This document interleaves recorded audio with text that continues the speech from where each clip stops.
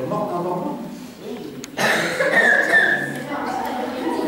Non, en réalité, il y a, une coupure, parce que on ne peut pas faire une pièce, c'est une pièce pour adultes, dans les choses, hein, c'est un peu difficile peut-être certaines choses, mais peut-être qu'on ne peut pas prolonger, prolonger, et donc elle a voulu libérer les, détenus.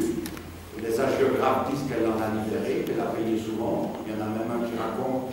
Donc à l'époque, pour payer une dette, on prenait euh, les balances anciennes, c'est-à-dire que quelqu'un tenait euh, dessus, et les deux plateaux de côté, et en fonction de, ce qu'on reprochait aux détenus, soit qu'il était esclave, qu'il s'était sauvé, soit qu'il avait fait un atteinte, on mettait quelque chose de lourd d'un côté.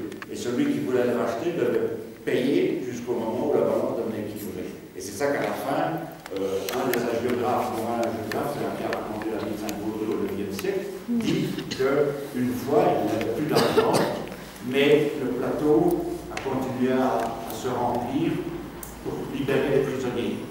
Euh, c'est une image poétique euh, dans, dans, les vies de saints, où quelquefois, pour bien montrer que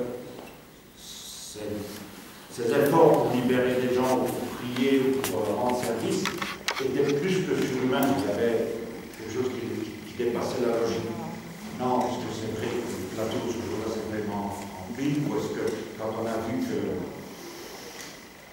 euh, ne pouvait pas payer, on l'a laissé euh, Au moment des. une autre histoire, au moment des, où Mons a presque été attaqué par euh, les fameux vikings, qui avaient remonté le comte du était prisonnier et pour le racheter son achat, la comtesse a vendu tout l'or qu'il y avait dans son château, tout l'or qu'il y avait dans les églises, enfin a vendu, a donné au chef des vikings tout l'or qu'elle a pu trouver, même les, les montois à l'époque on voulait l'or pour libérer leur compte. Donc c'était une coutume, une façon de payer. Aujourd'hui on des déchets. Les fonds blancs. Donc voilà.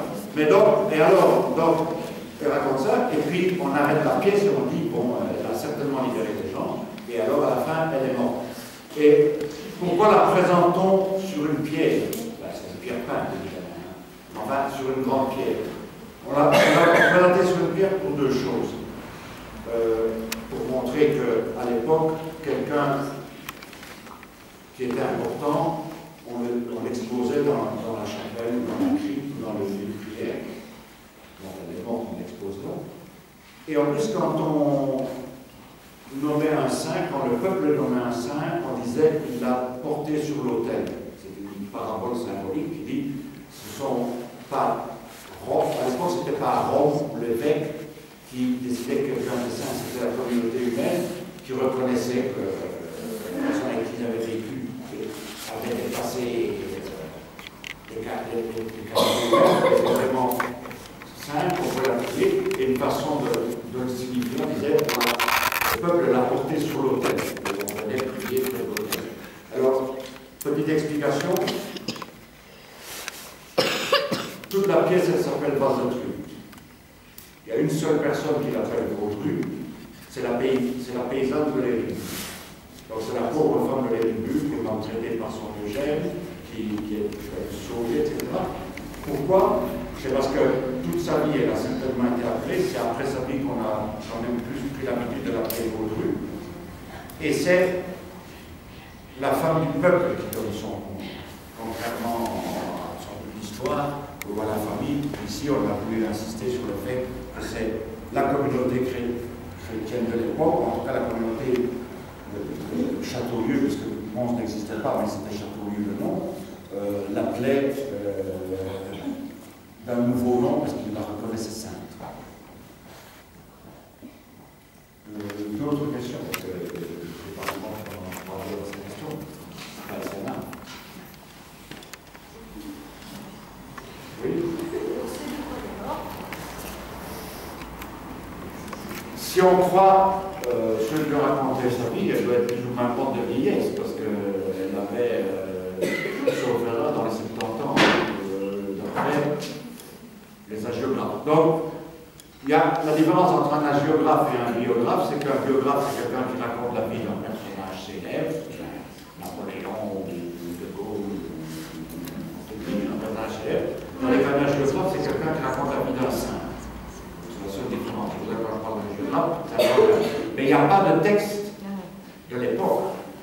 Les premières, les premières histoires qui ont été écrites sur Saint-Paul-Rue, elles datent de la fin du 8e et du début du 9e siècle. Pourquoi? Parce qu'à l'époque, on n'écrivait pas.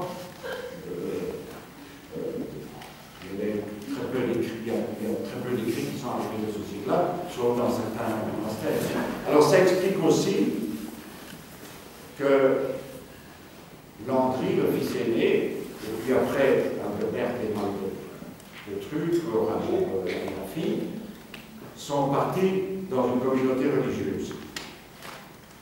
À l'époque mérovingienne, dans la crise qui va suivre, les nobles souvent envoyaient leurs enfants, même très petits. Il y a, je crois, un texte qui raconte qu'à trois ans, l'enfant était euh, dans côté. On les mettait dans une communauté pour deux raisons. Euh, parce que c'était le seul endroit où on était sûr qu'ils apprendraient à lire et écrire, il n'y avait pas d'école dans le village. C'était le seul endroit où on, acquérait une certaine euh, des, connaissances au niveau des c'était dans les communautés. Et d'autre part, souvent, c'était des familles qui étaient malmenées par des attaques, etc. Donc, il y avait une certaine protection civile. Mais la plupart venaient, ne pas nécessairement moins des religieuses.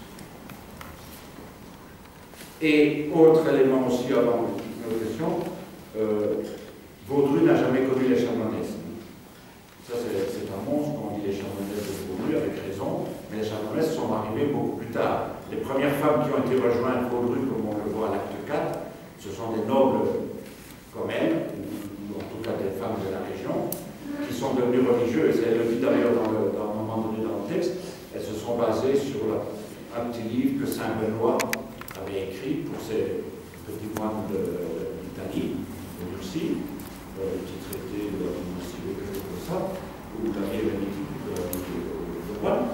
Euh, donc, elles, étaient simplement des, espèces de bénédictines. Elles n'étaient pas habillées en religieuses comme on l'a habillé au théâtre, mais elles étaient peut-être encore habillées plus simplement qu'au château, mais disons que c'est beaucoup plus tard qu'il y a eu ce qu'on a appelé les chanoinesses, les chanoinesses qui ont construit Mons et qui ont, dirigé Mons euh, pendant des siècles. Donc, nous, on les a habillées en religieuses, comme on a habillé Vincent, euh, non pas Vincent, euh, Orpheus qui est devenu l'entrain en Rome pour qu'ils avaient changé de vie. Mais sans doute qu'à l'époque, ils ne s'agirait pas vraiment, sais pas. On n'était pas là, trop de D'autres questions? Qu'est-ce que la pièce vous a appris, vous qui êtes à l'école? Qu'est-ce que la pièce vous a appris sur le Moyen-Âge Vous ne saviez Sur cette époque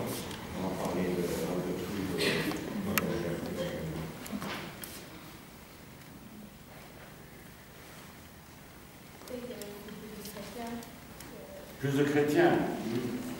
C'est pas tout à fait ce qu'elle dit. Euh, en tout cas au début, au début, euh, quand Walbert, le grand-père, enfin le père, et la belle parlent, euh, ils racontent qu'ils ont dû parcourir tout le comté pour, pour chasser les idolâtres qui adoraient toujours certains des arbres, certains des bêtes, enfin qui tuaient encore des bêtes pour des faux dieux. Donc c'était le moment où on devenait chrétien. Et ils sont devenus chrétiens parce que, comme la pièce le, montre, ce sont des moines qui sont venus euh, souvent d'Irlande pour les convertir, pour leur parler de l'évangile. C'est bilingue, euh, Aubert, euh, il y a il y avait plusieurs saints du diocèse, enfin le diocèse de la région de c'était quand même une grande région, euh, qui, ont, qui étaient originaires d'Irlande. L'Irlande était une vie chrétienne avant nous. Pourquoi Donc ce sont ces moyens. Et ça, ça peut aussi peut-être expliquer pourquoi euh, les nobles et d'autres les ont cru assez vite. Parce que quand des gens, maintenant, bon, en Irlande, on prend TGV jusque je ne sais pas où, et puis on prend un avion et on est parti. À l'époque, euh, pour venir d'Irlande, il fallait traverser le pays, Hein, où il y avait des convois et il fallait traverser la mer, il y avait un petit bateau là, il fallait traverser la France, hein, où il y avait aussi toute une série de, trains. Donc, les gens qui venaient, qui arrivaient dans notre région pour parler Sud, qui avait passé à travers toutes ces épreuves pour simplement venir annoncer que Jésus avait existé et que Jésus était bien leur Seigneur, était évidemment plus facile à croire que le voisin qui disait Je crois en Jésus. Hein, donc, euh, ça, peut en tout cas expliquer que les conversions dans les, les communautés chrétiennes ont été des petites communautés de village. Quand on dit communautés, c'est quelques, quelques gens, quelques familles peut-être, mais sont plus vite réunis et ont plus vite essayé de, de croire et de croire comme il faut. Autre question Autre découverte sur le Moyen Âge. Il y a une pour nous, que la pièce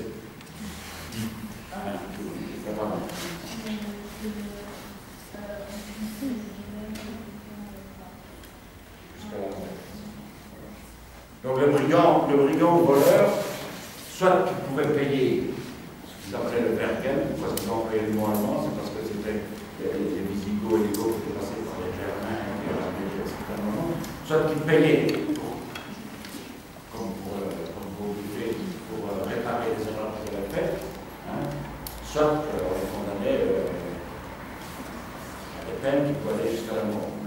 Et après, ça c'est la mort, mort si c'était des serfs, des esclaves. Et comme il dit euh, Montjus, euh, certains étaient esclaves de père en fils. Hein, à l'époque, les Romains n'étaient pas loin. Donc il y avait des esclaves, euh, on devenait esclave par, par endettement, comme, comme euh, précédemment, et on pouvait rester. Et alors il y avait, ce que je disais, au niveau justice, quelque chose qui est assez étonnant, qui n'existe plus aujourd'hui, du moins j'espère, c'est que quand le juge, qui était souvent le comte ou un nom du comte, n'était pas sûr de, du droit de, de, de la malhonnêteté du type, il le remettait au jugement de Dieu. Hein, pour ce fameux jugement de Dieu dont parle l'écuyer, qui était soit marcher dans le feu et survivre, hein, soit pieds poignets jeter à l'eau et en sortir vivant. Si, le condamné survivait aux épreuves, c'est que Dieu le sauvait. À mon avis, Dieu n'en a pas sauvé des milliers. Enfin, je ne sais pas, que le pauvre était plus souvent là que maintenant pour, ce genre de, de, Donc, ça veut dire qu'à l'époque, euh, on n'allait pas chez le juge, on n'allait pas. Euh, C'était souvent euh, au monde, le responsable du coin, qui faisait la loi, qui faisait la justice. Et quand il n'était pas sûr et qu'il ne voulait pas porter la responsabilité, c'est un peu ce que Ponce Pilate fait dans l'évangile. Il s'en les mains en disant ben, Dieu n'a qu'à prouver qu'il est innocent. Ça, c'est un des éléments de l'époque aussi. D'autres éléments sur l'époque Les contes de l'époque, c'était des, des hommes du, du, roi ou du maire du palais, donc il y avait une, une assez grande région. Hein. Ici, le, comme le Mons et l'Hugo, il y avait plus que l'Hugo comme comté. Et alors, il avait ce qu'il appelait des centeniers, qui étaient donc euh, des gens à qui il confiait la gestion d'une petite partie de son territoire, et qui avaient la, la responsabilité, comme il dit, de, de collecter les impôts, de lever les hommes s'il fallait des hommes pour la guerre, euh, et de faire respecter les lois. Voilà. Donc ça, c'est pour le Moyen-Âge. Maintenant, Vaudru, ou Vandetrut. Comment, comment vous avez apprécié son cheminement de vie Une question peut-être mal posée. Comment, comment euh, vous trouvez son parcours Évidemment, son parcours ici couvre 40 ans. Hein. Les trois actes sont là. Mais vous acceptez de croire que c'est vrai qu'une noble puisse, à un moment donné, et son mari, une noble et son mari, à un moment donné, euh, tout quitter pour se consacrer complètement au Seigneur. Et quand il tout quitter, elle dit à un moment donné que, parce que ça c'est écrit dans, dans sa biographie, qu'avant de quitter, elle a vendu tout, elle a laissé les biens mobiliers, elle a vendu les, tout ce qui était mobilier pour euh, soutenir les pauvres, les veuves, acheter les prisonniers, etc. Et que seuls certains biens de la famille sont restés pensez que c'est possible que quelqu'un puisse, à un moment donné, tout, tout abandonner pour se consacrer uniquement à la prière et à la, réflexion aussi, hein, puisque Milan est quand même euh, aidé à réfléchir et à prier et à connaître mieux l'évangile. Oui Oui Oui, je pose la question. Moi, je dis oui aussi, mais vous n'êtes pas d'accord.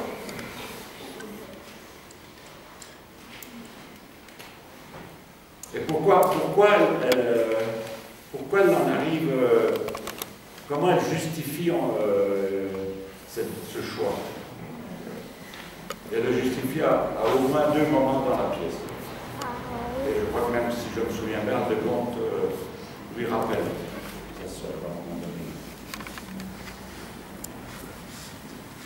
Elle le justifie par une parole d'évangile.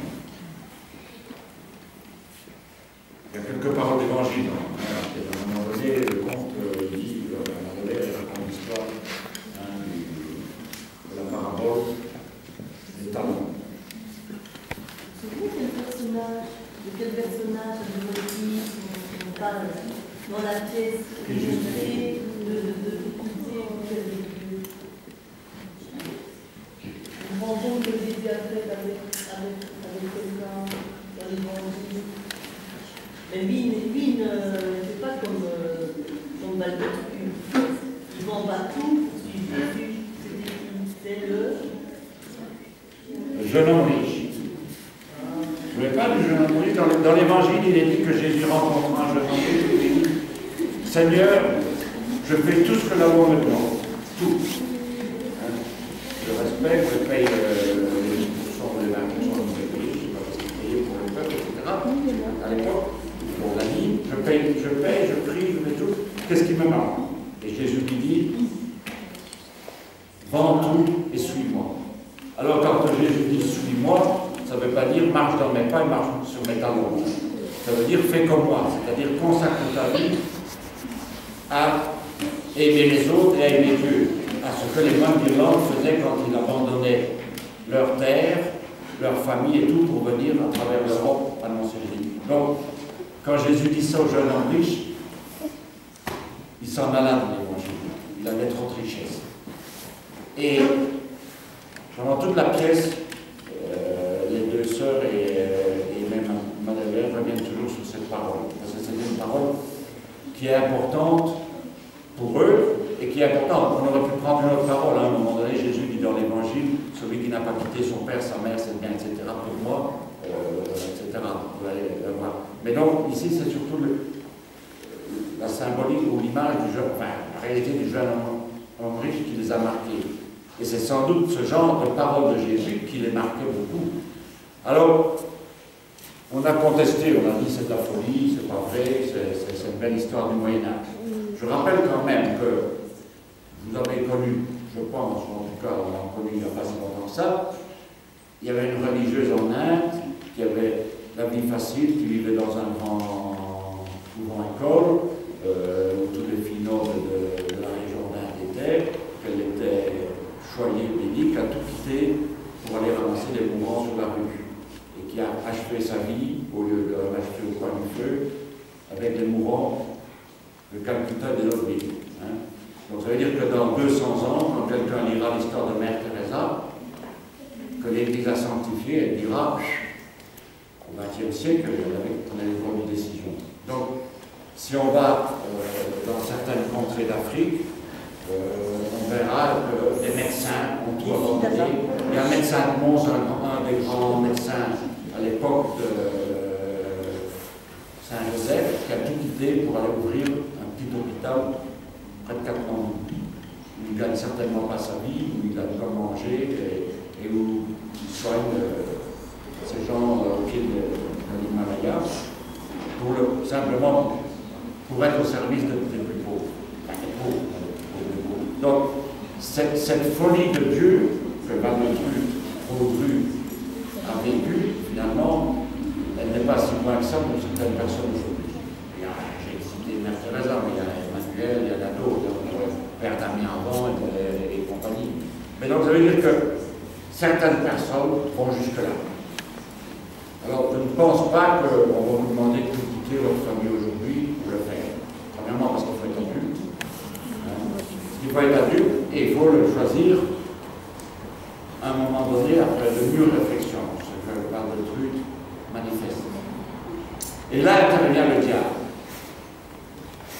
Un beau personnage, ce que j'ai dit tantôt, j'aime bien. Je vais faire un remplacement de celui qui le fait, qui parle aujourd'hui, donc on reste C'est un beau personnage parce qu'il a mis l'enfer.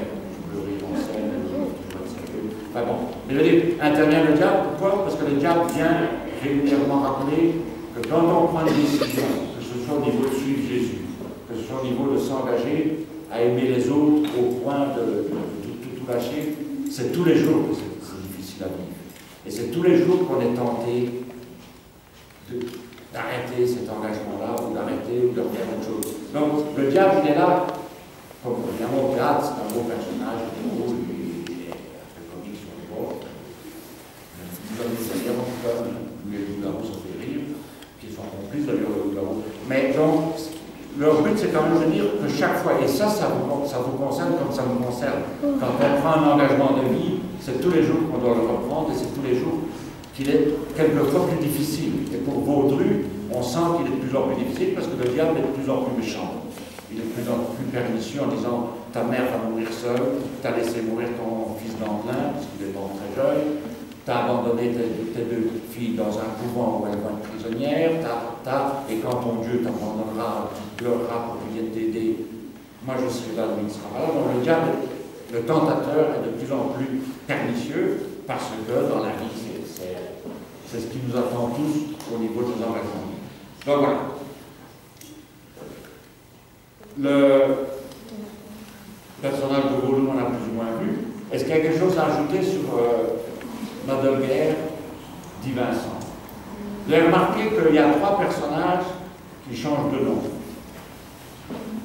C'est une coutume qui, qui, vient déjà du temps de Jésus. Hein? Au temps de Jésus, Jésus a dit à Lévi, tu t'appelleras Matthieu, et on, on, connaît sous le nom de Matthieu qui a écrit l'Évangile, et il a dit à, Pierre, euh, à Simon, tu t'appelleras Pierre. Donc, au Moyen Âge, maintenant, c'est plus difficile si vous changez de nom, hein, de prénom. Je vais payer pour, assez cher pour pouvoir avoir un prénom. Parce qu'il y a des besoin de garder le prénom. Mais au Moyen Âge, on, a gardé cette coutume parce que c'était une façon, d'ailleurs Aubert le fait en, disant à Delguerre, tu seras Vincent, ça voulait dire tu viens de prendre un engagement qui change toute ta vie. Et la preuve que ça change toute ta vie, même ton prénom change. Et c'est pour ça que Van der Guerre a conclu un jour, il vous dira la même chose, tu pourras changer de nom. En réalité, la pièce, c'est pas lui qui, le fait,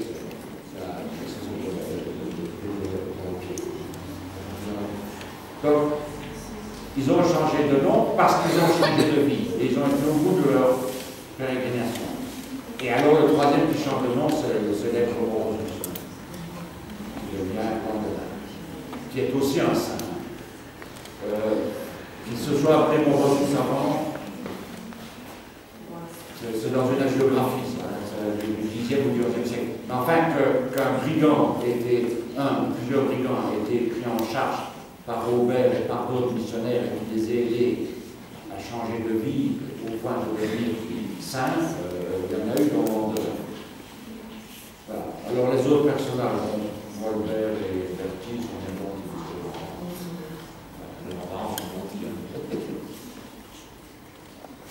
D'autres choses sur euh, les personnages, le développement